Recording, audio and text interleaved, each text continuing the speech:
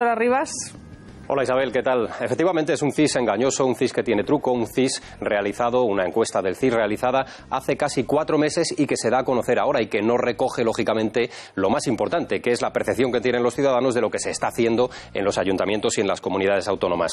La encuesta, el estudio sociológico del Centro de Investigaciones Sociológicas que ayer se conoció, el estudio del CIS, es engañoso. ¿Por qué es engañoso? En primer lugar, porque fue realizado entre el 27 de mayo, tres días después de las elecciones municipales y autonómicas, y el 23 de junio. Es decir, estamos midiendo un tiempo en el que todavía prácticamente no se habían constituido los ayuntamientos, que lo hicieron el 13 de junio, con lo cual solo 10 días de gestión de los nuevos alcaldes son considerados en esta encuesta del CIS. Y la investidura de los presidentes de las comunidades autónomas tuvo lugar entre finales de junio y a lo largo del mes de julio, con lo cual mucho menos pudo ser considerada la opinión de los ciudadanos en relación a las comunidades autónomas. Veamos la valoración de los diferentes nuevos alcaldes que tomaron posesión.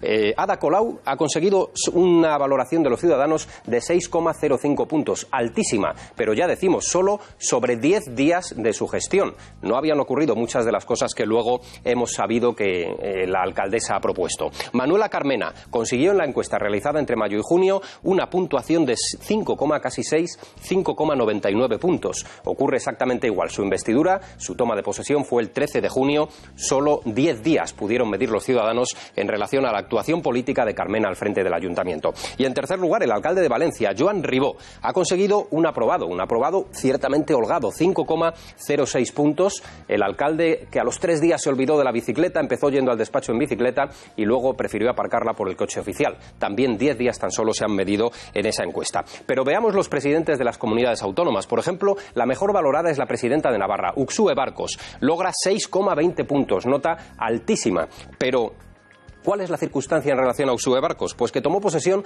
el 20 de julio casi un mes después de realizada la encuesta, con lo cual es muy difícil que los ciudadanos dieran su opinión sobre su gestión. El presidente de Cantabria, Miguel Ángel Revilla, ha conseguido un 5,39 puntos en esta encuesta del CIS cuando tomó posesión Revilla el 3 de julio, muchos días después de que se realizara el trabajo de campo de la encuesta. Y en tercer lugar, Cristina Cifuentes, que tomó posesión el 24 de junio, es decir, el día siguiente a que terminaran de preguntar los encuestadores del CIS, con lo cual difícilmente puede ser valorada su gestión.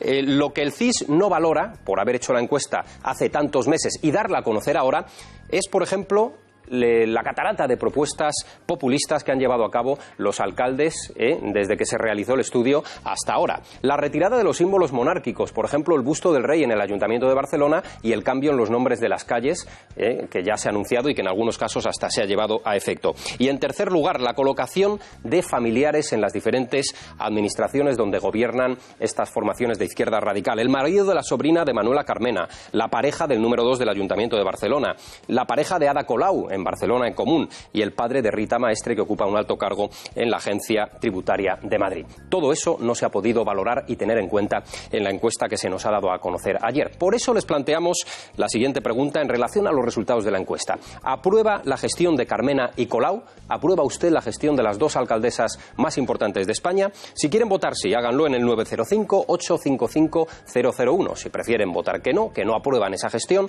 háganlo en el 905-855-001. Y por supuesto a través de Twitter, donde hoy les proponemos los siguientes temas de debate. En primer lugar, MCA. Ya saben que nuestro indicativo es más claro 13TV. MCA Ocupas Madrid para ver eh, qué piensan ustedes sobre la cesión gratuita de un inmueble, un palacio del Ayuntamiento de Madrid a los ocupas del Patio Maravillas. MCA Discurso del Rey para valorar ese importantísimo histórico discurso de Felipe VI en el Europarlamento. Y por último, MCA Pactos Andalucía para ver cómo se está comportando ese acuerdo de gobierno entre los socialistas, Isabel y Ciudadanos. Madre mía.